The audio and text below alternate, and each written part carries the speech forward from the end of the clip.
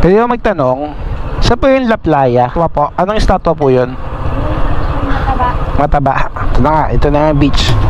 Ah, ito yung ano.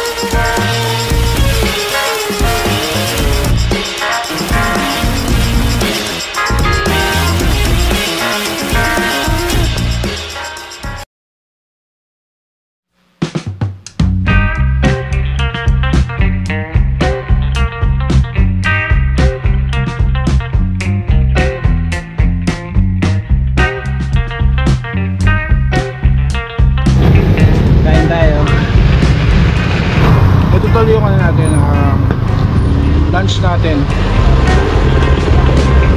Ay, mga tol, biyahe tayo. Ganda na daan, nakita akong ano doon, signage ng La Playa. Kita nyo, sobrang init mga tol. Talagang sobrang init. Eh, sana mamaya pag uwi natin, eh, hindi naman sana umulan. Ah, yan yung mga ayaw ng mga riders. Pagka umuulan, mabiyahe sila, medyo hirap sa amin yun. Yun. Pag pumunta kayo ng La Playa, mga tol, maganda yung daanan nila rito.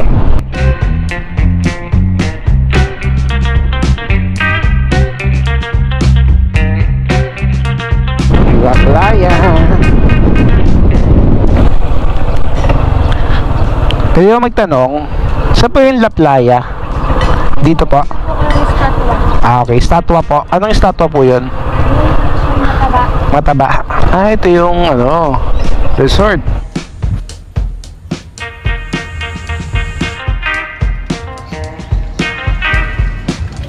Welcome to La Playa Resort. Ay.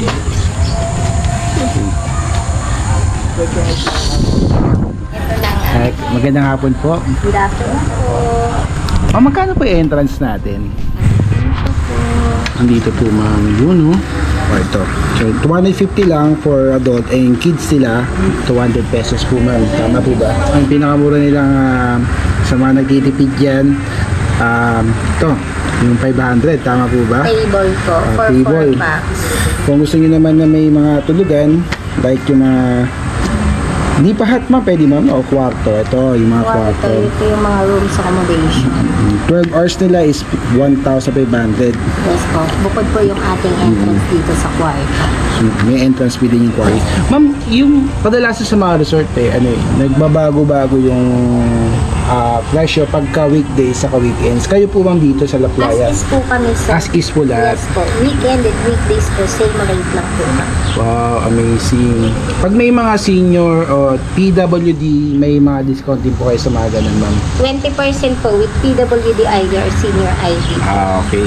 Okay, sa mga merong PWD, saka senior ID, nag-avail po sila rito. Huwag kayo magkagawa ng mga peking PWD ah. Alright ma'am, thank you po. Yun oh. Akala mo nasa Sambales ka mga tol. Sa itsura ng ano, papakita ko sa inyo ah. Parang Sambales sir eh, oh. Sa may ano, sa may anuwangin. Yan oh.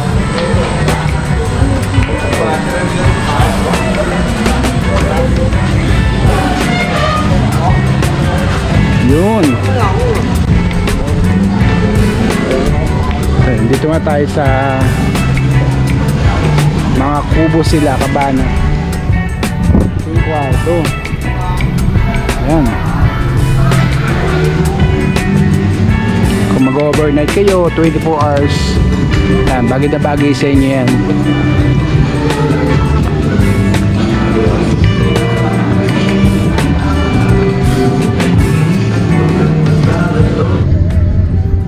Parang pwedeng mag-camping dito.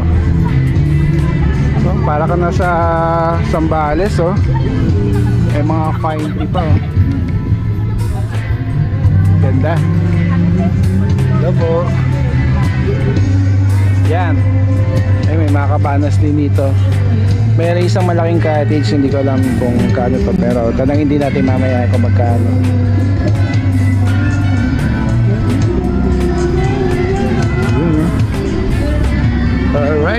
Ganda.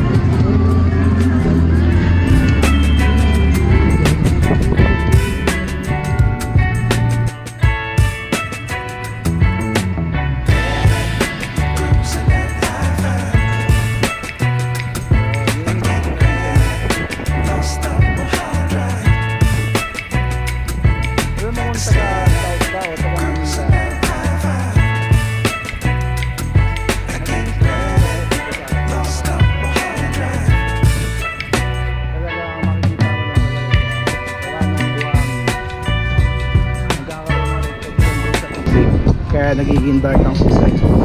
Pero malinis ang dagat dito mga tol. Ganda oh. Para ka na sa ano? Nasa Sambales talaga. Yan.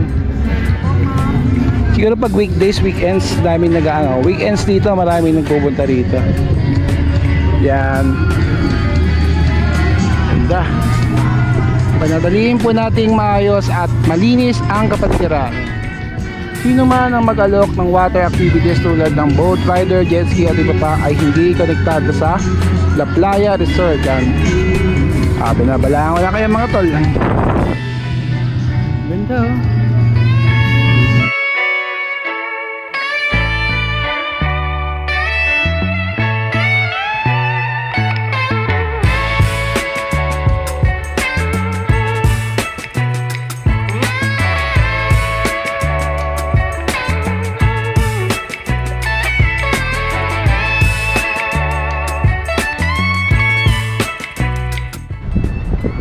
Resort din doon mga tolo. Yan.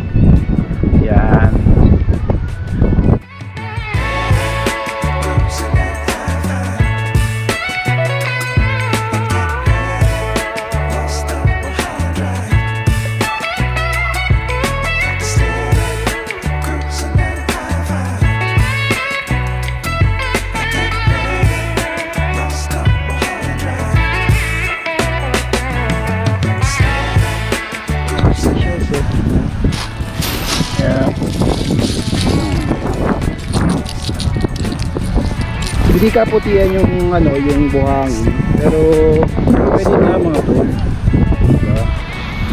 Hindi naman po Boracay, pero mala Boracay ito. Yung ah, area, lalo na yung mga pine tree na yan, no? Yan, ganda. May mga kubo rin. Ganda. Yung area po yan, ano po yan, no? Sambales, no? Ay, no? Bataan. Bataan. Ayun yung Maribeles. Yan yung pinaka ng uh, La Playa.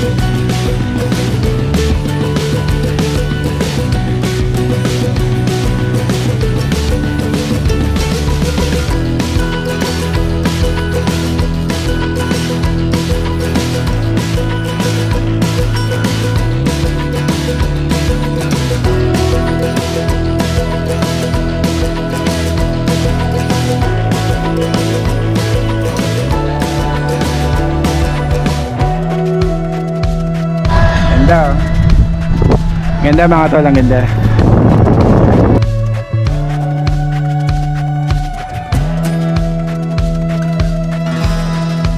Yan oh, kung may plano kayong magpunta dito sa La Playa, pwede rin kayo magtayo ng mga tent, no? Yung mga tent pitching naman, mura lang naman yan, hindi naman malagpas sa 500, no? Yan yung ano nito ah, tagapamahala, nakaligtasan. ano pangalan niyo po kuya? Po? Negroy. Shoutout po kayo sa Negroy. Napakalapit lang nito sa Metro Manila. Mga isang oras ka lang. Kalating oras ba? Wala pa nga ata eh.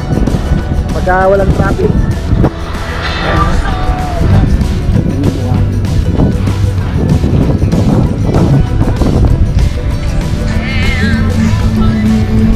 Alright mga tol.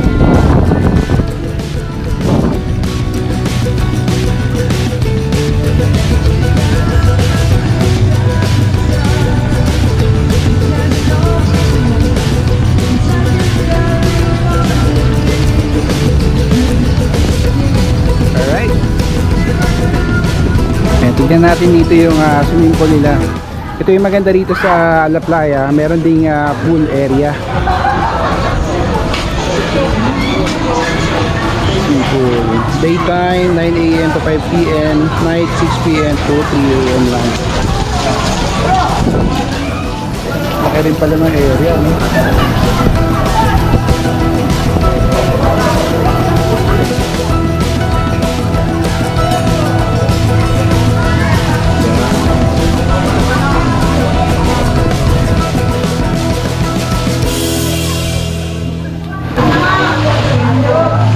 Laki rin ng pool oh. May kiddie pool, mayroong ah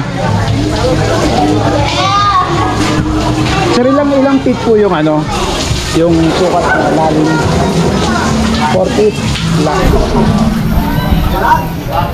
Iba rin ba entrance fee nitong pool, sir? Iba rin ba entrance fee? Parehas lang Parehas lang Ah, magkaiba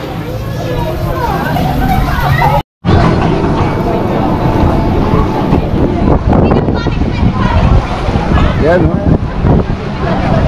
May kiddie pool din mga tol. oh. Yan. Alright. Complete package dito mga tol sa La Playa. Hello. Hi. Yan. Si ate oh. Kamusta ka? Ah.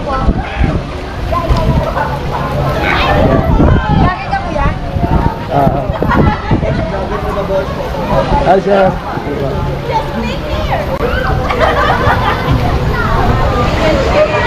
Yan. Kung trip nyo yung mga beach na may kasamang pool and pwede ka mag fishing, oh, pwede rito mga kapatid. Ah, sir. Yes, sir. Kamusta, sir? Hi. Yan. Kung may mga convention or weddings kayo pupun na okas ah, gagawing okasyon, ah, pwede rin dito sa La Playa mga tol. Malaki rin yung area at kasya ang tingin ko 100. Alright, ang ganda. Mukhang bago. Okay. Pagpasok mo pa lang, puno-puno na ng mga cottage. Hmm. So, pag gusto nyo ng 12 hours, tw- 24 hours, pwede rin dito. Hello po. Yan. Clinic. Hello po, kamusta po kayo? Kamusta po? Magandang hapon po. Ayos! Nag-enjoy naman po kayo? Yan. Yan. Importante talaga merong clinic sa isang ano, resort. Casitas. Ah, marami ring mga kabanas sa ano. Solid oh. Ganda. Ganda, ganda po ng lugar. Opo. Para pong nasa ano po ako, um, Sambales. Aba, talaga lang po. Thank you po. Yung itsura niya talagang ano, hindi mo akalaing nasa tansa. Natanda ko. Cavite ka. thank you po mama, salamat. Okay. Sir, thank you po.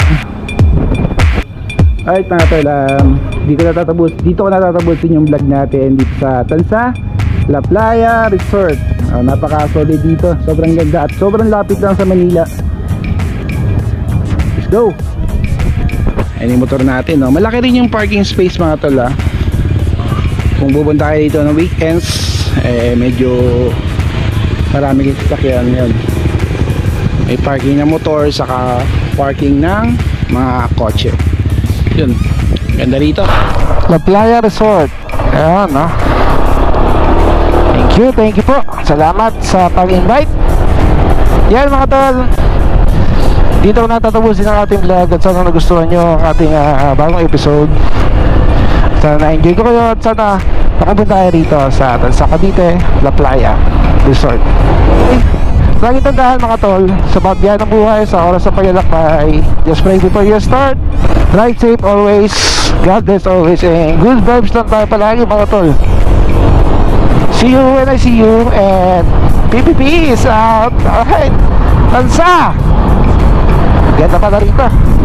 Woohoo! ganda